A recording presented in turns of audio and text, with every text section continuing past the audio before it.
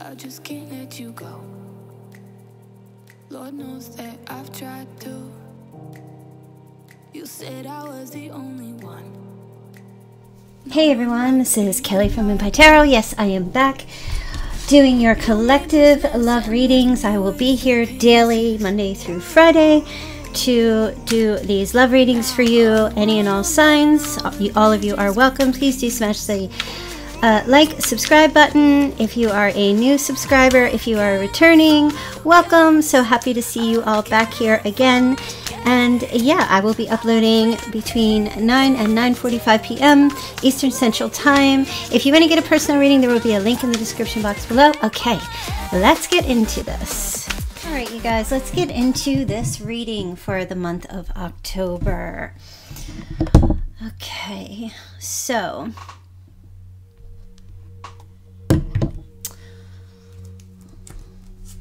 You are my match.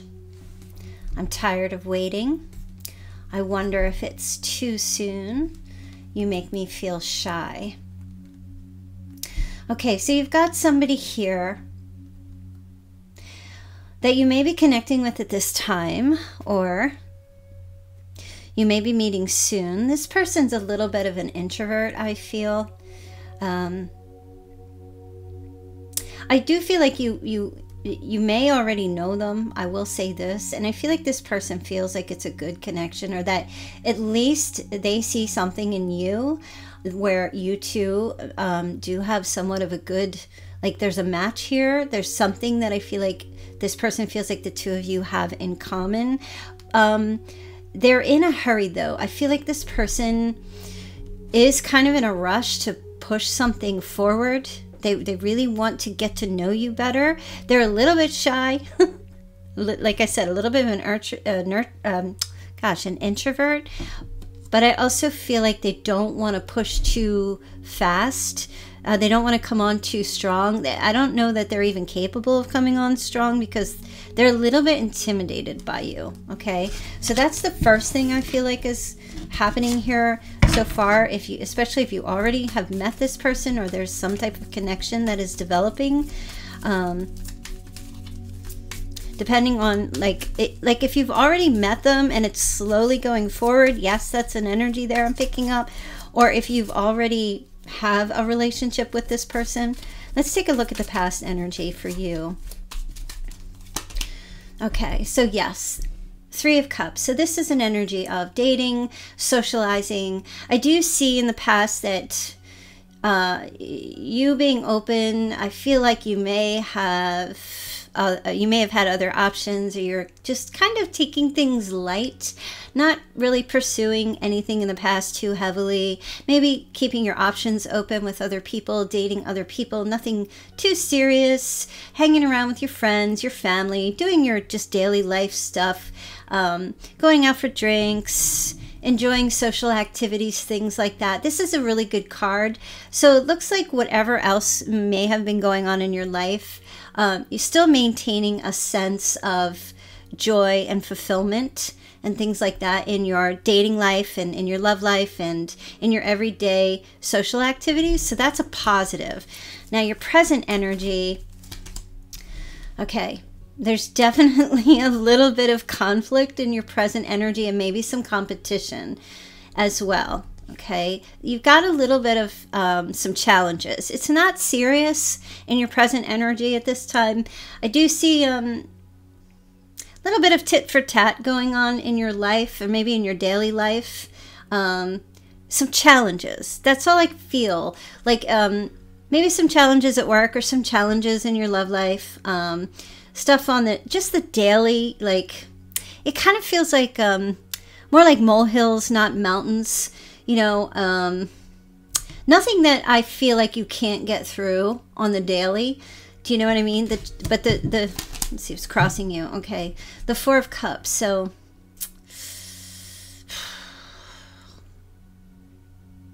I feel like this is more in the position of you of the benefit, okay, for you.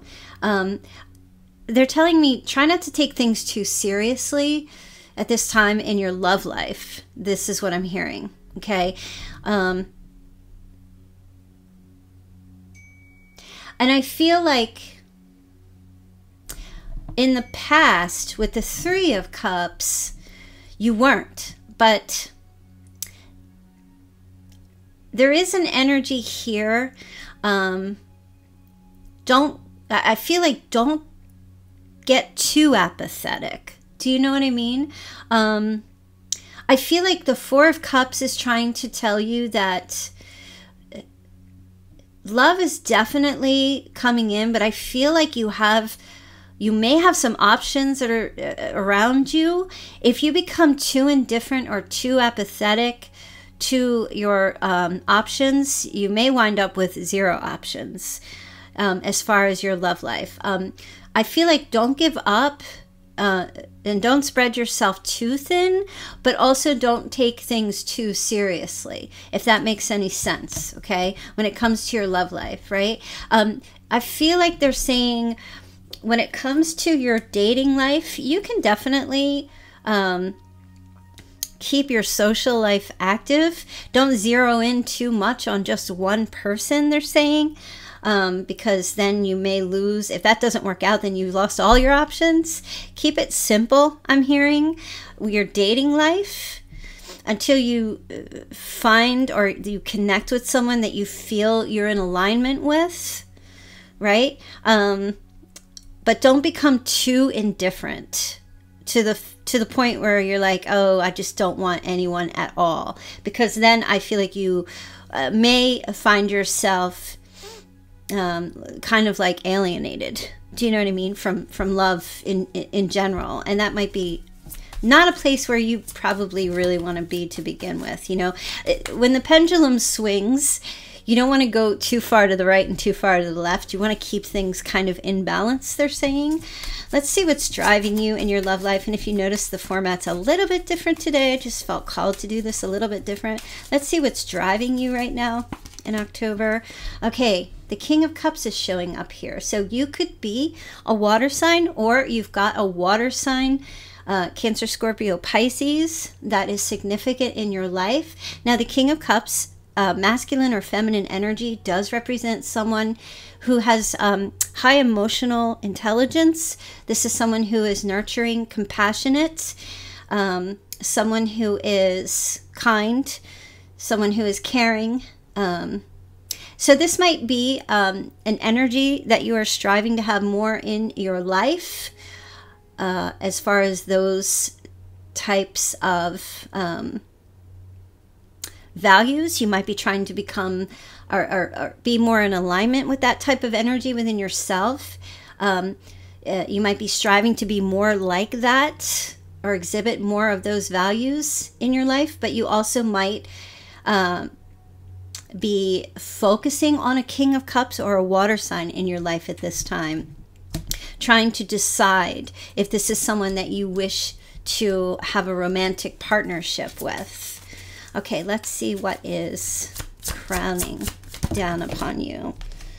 Okay, so you've got the Queen of Swords. This is interesting. Now, as an energy, this would represent being truthful with yourself. Okay, so uh, this is uh, being honest with yourself. This is having clarity. Um, the Queen of Swords can represent, well, it does represent air, the air element of Libra, Gemini, Aquarius. Um, air is about the intellect and the thoughts. Um, and since it crowns down on the crown chakra, this is about your thought process. Are you clear thinking? Um, your conscious thoughts, are they crystal clear? Okay, it's interesting. You also might be thinking about an air sign at this time as well. If you are an air sign, you might be thinking about yourself as well. Um, if you're an air sign, you might be thinking about a water sign, or if you're a water sign, you might be thinking about an air sign. Um, and if you're neither of those, this is thinking about are your thoughts in alignment with your feelings? Okay, as well. So I feel like at this time, there's a little bit of conflict regarding the King of Cups and the Queen of Swords. You um, might be there may be a relationship between the two, and there might be some conflict. You could be dating one of these signs, and there might be some conflict happening in a relationship at this time where you may be having a hard time making a decision about a relationship regarding this, these two people, you and this other person, you and another person. There may be a desire to become indifferent or apathetic towards it and not choose. You may be undecided. You may not know what to do about a particular relationship at this time as well because of some conflict that's brewing at this time. And for some of you, you may make a decision to do nothing at this time. Okay? Let's see what comes up for the near future. Okay. Ten of Pentacles. So the near future is calling for you to ground yourself. And this focuses, or at least talks more about family, leaving a legacy, inheritance, your business. I feel like the message here going forward is you really need to not let any kind of conflict or struggle your dating life affect your work and your career. If you feel like you're in a situation right now where your work or your career, your finances are being affected by a troubling relationship, I feel like the message here is um, well, it looks like it'll be okay.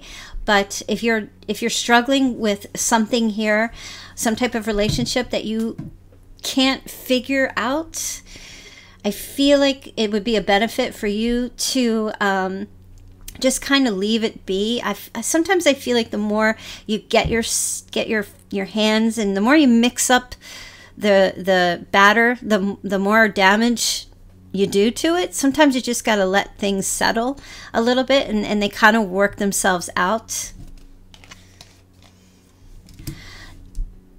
I feel like if this is a relationship that you want to work out, I do see that you guys will come to a very stable, secure, committed relationship going forward, especially in October. Um, you've got Taurus energy here as well.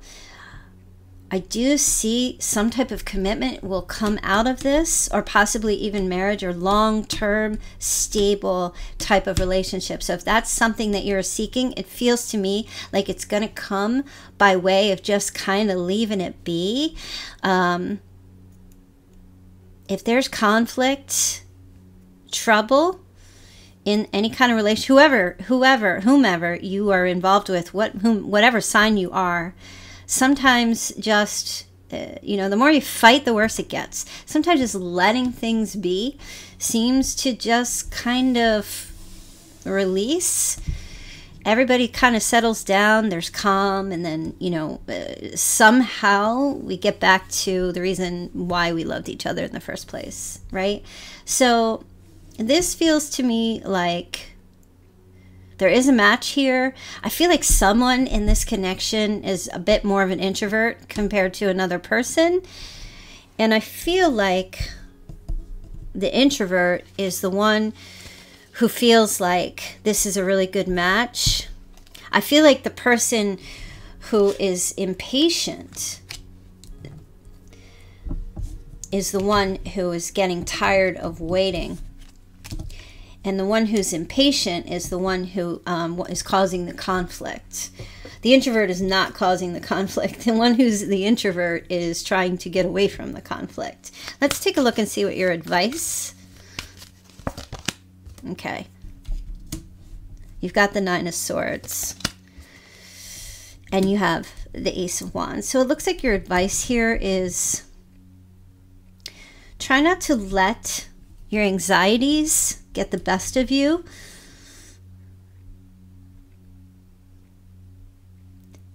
I feel like night might be the hardest time for you because your thoughts probably go wild.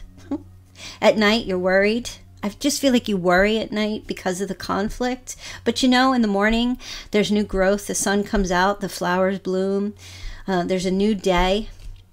Try to focus on the new day that dawns. There's always a new beginning to start over. Um, I feel like your advice is to try to focus on. I mean, if you look at these two cards here, this is night. This is like, oh, I can't sleep. I'm stressing. I'm worried, you know. But look, look at the morning. It's so beautiful. You know, the birds are out, the butterfly, that's a butterfly. The butterfly's out, the, the dawn is breaking, the sun's coming out. It's beautiful new morning. Um, the day will break. Try to focus on the beautiful morning that's coming.